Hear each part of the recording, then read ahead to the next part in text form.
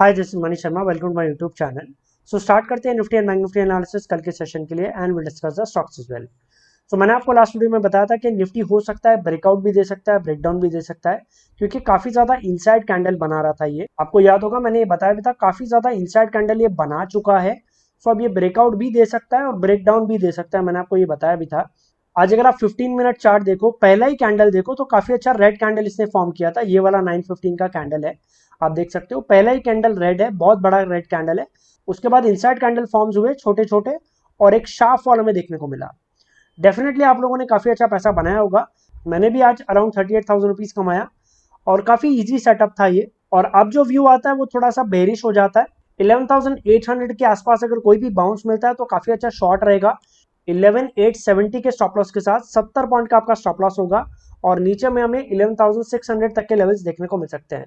सो यहाँ से 200 पॉइंट का करेक्शन हमें और देखने को मिल सकता है। सो कोई भी अगर उछाल आता है 11,870 के स्टॉप लॉस के साथ आपको शॉर्ट की तरफ़ ज़्यादा ध्यान देना है। बैंक निफ्टी भी अगर आप देखो सिंपल पैटर्न था सेम सेटअप था। निफ्टी के जैसे ही फ़र्स्ट रेड कैंडल था इनसाइड कैंडल बनाया और उसके बाद शार्प वाला हमें देखने को मिला है। बैंक निफ्टी काफ़ी ज़्यादा स्ट्रॉन्ग था लेकिन लास्ट दो तीन दिन से काफ़ी रेंज में था आप देख सकते हो। और उसके बाद एक बड़ा रेड कैंडल हमें देखने को मिला है। और मुझे लगता है इसमें एक फॉलो थ्रू सेलिंग हमें और देखने को मिल सकता है। पॉसिबल है बैंक निफ्टी हमें 23,500 तक के लेवल्स भी हमें देखने को मिले बिफोर द एक्सपायरी सो आप इसमें कोई भी बाउंस आता है तो आप शॉर्ट की तरफ़ ज़्यादा ध्यान देना. 24,500 के स्टॉप लॉस के साथ 23,500 तक के टारगेट के लिए. अब डिस्कस करते हैं स्टॉक्स मैंने आपको सबसे पहला स्टॉक दिया था अल्ट्राटेक सेल इसमें स्टॉप लॉस ट्रिगर हुआ है. 4530 का स्टॉप लॉस था वो स्टॉप लॉस ट्रिगर हुआ है. बालाकृष्ण इंडस्ट्रीज़ मैंने आपको बाई दिया था.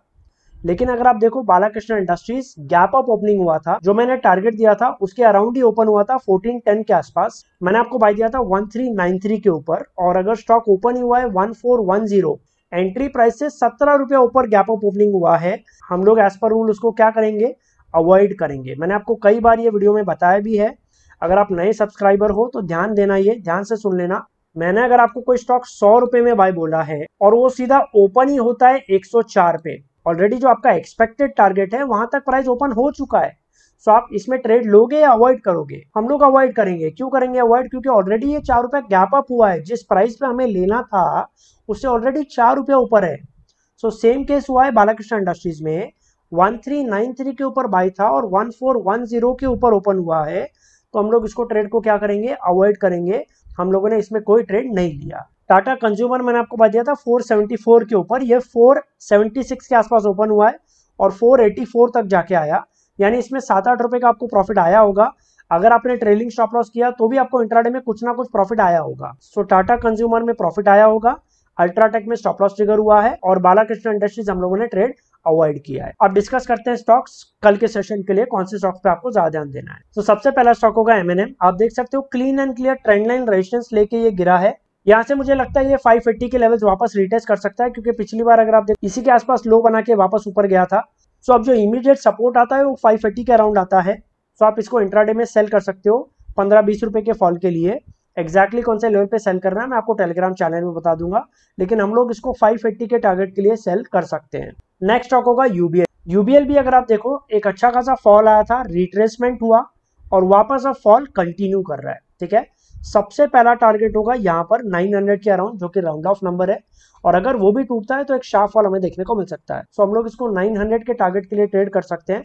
एक्जैक्टली कौन से लेवल पे सेल करना है, मैं मैं आपको टेलीग्राम चैनल में बता दूँगा, लेकिन इसका स्ट्रक्चर काफ़ी अच्छा लग रहा है सेल के लिए। नेक्स्ट स्टॉक है कोटक बैंक कोटक बैंक मुझे बाइंग की तरफ़ स्ट्रक्चर काफ़ी अच्छा लग रहा है। क्यों लग रहा है, मैं आपको रीजन समझाता हूँ। यहाँ पर मैं एक सिंपल हॉरिजॉन्टल लाइन मैंने ड्रॉ किया है। और आप देख सकते हो ये लेवल कितने बार रिटेस्ट हुआ है। एक बार टेस्ट हुआ, फिर फॉल हुआ। एक बार टेस्ट हुआ, फिर फॉल हुआ।